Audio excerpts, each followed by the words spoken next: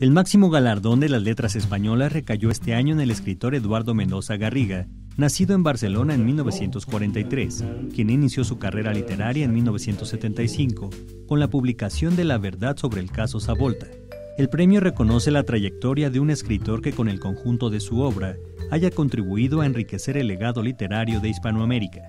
Dotado de 125 mil euros, el ministro de Educación, Cultura y Deporte, Íñigo Méndez de Vigo, dio a conocer el nombre del vencedor de este año, al que el jurado le otorgó el premio, porque con la publicación en 1975 de La verdad sobre el caso Savolta, Mendoza Garriga inaugura una nueva etapa de la narrativa española, en la que se devolvió al lector el goce por el relato y el interés por la historia que se cuenta, que ha mantenido a lo largo de su brillante carrera como novelista.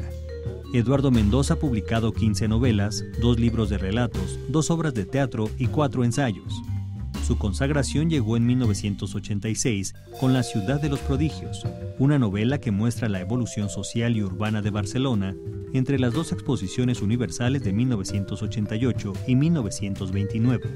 El 23 de abril de 2017, día que se conmemora la muerte de Cervantes, el escritor recibirá este galardón durante una ceremonia que, como es habitual, tendrá lugar en la Universidad de Alcalá de Henares y que estará presidida por los reyes Felipe y Leticia como monarcas. Notimex.